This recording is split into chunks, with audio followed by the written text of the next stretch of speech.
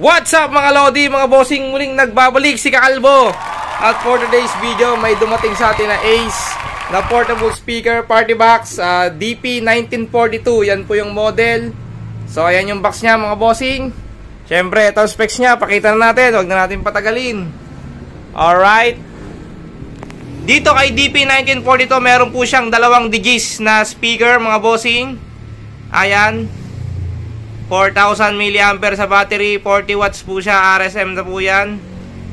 At naka-ready na rin po yung kanyang TWS. Meron po siyang pre na wireless microphone, mga bossing. Alright, so eto na, ipakita na natin yung actual na unit. Op, nalimutan ko mga bossing, syempre meron siyang pre na charger. Ayan, yung kanyang charger at yung kanyang remote. So magandang klase ang remote na ni Ace. Pakita ko sa inyo. Ace po yan, kaya Okay po yan mga bossy. Ayan, yung Ace na remote. Siyempre, walang battery. At eto na nga, ang ating unit. Oh, di ba? So, ang, ang, ang inches na ang taas nan ay... Check na, ko tayo ng metro para makita nyo mga bossing. So, ayan, nasukat ko na siya. Ta, to, ano po siya, mga 80 meters mga bossing, yung taas niya. Ay, mataas din siya mga bossing. Apa ano ko papapakita to? Ako lang kasi nagbi-video eh. Sa so, mataas din siya siguro mga ano ko siya. Ako ay 5 feet. Ah 5 feet. 5'4 ako mga bossing hanggang ano ko siya? Hanggang bewang ko rin siya. Alright. Ayan naka yung kanyang mesh metal. Yung logo ng Ace. Pakita natin sa ibabaw. So dito po ay makikita nyo yung lagayan ng phone tsaka yung mic wireless. Ito po yung pala yung pre na wireless mic. Ito. Ayan yung pre niya ng wireless mic. So nilagay ko lang siya dyan. At dito po ay makikita niyo yung kanyang master volume. Nasa left side. Sa right side naman yung mic volume.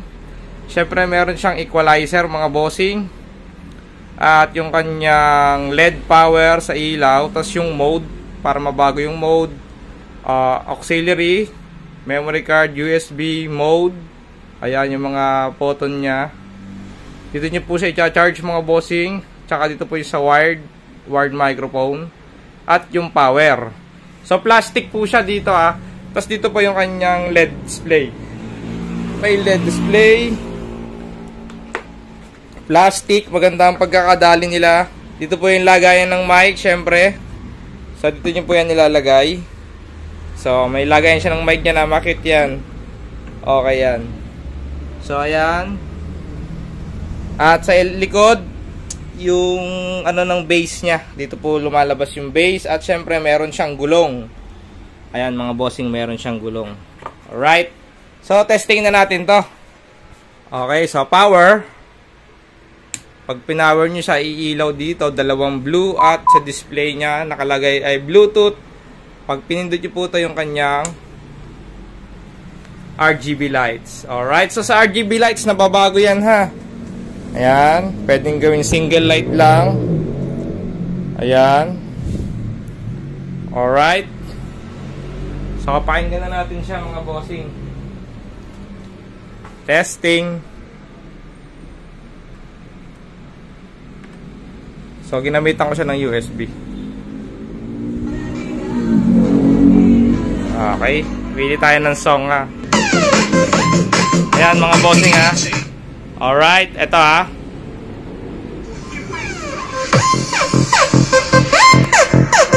Battle mode activated.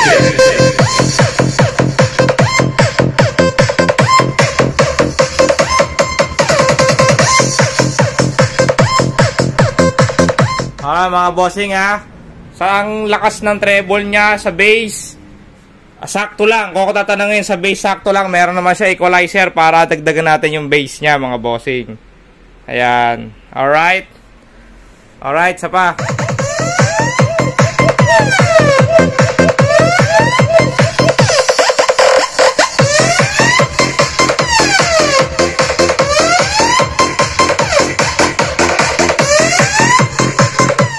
Malakas sa malakas mga bossing.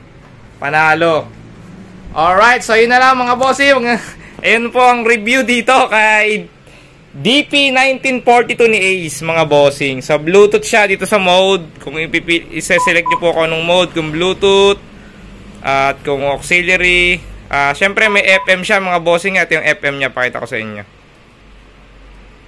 Patayin. Tapos sa ilaw pala, pwedeng tanggalin yung ilaw ha. Ayan, pwede nyo i-off yung ilaw niya. Dito lang po yan sa sa LED mode. So, pwede nyo rin patayin dito mismo. Alright. Tapos sa mode, ayan yung FM niya. So sa FM, select lang tayo dyan. Yan. Mag maghahanap siya ng signal. Ayan. Alright. Okay na okay siya mga bossing ha. Battery, makikita sa LED indicator niya dito. Sa LED display niya, full charge siya. Tapos, pag tina-charge niya siya, uh, apat na oras, 3 hours to 4 hours mo i-charge yung unit natin. Tapos yung playing time niya ay apat na oras sa maximum volume at mas matagal pa kapag naka minimum volume lang. Alright? So yung wireless mic niya, wala kasing battery. Goods naman to, na-test na natin to. Same lang din naman to ng ibang mga wireless microphone. So okay na okay. Sa mic, testing natin ng wired. Testing natin siya ng wired microphone. So ayan mga kalbo, nilagyan ko na siya ng dalawang AAA ang battery niya.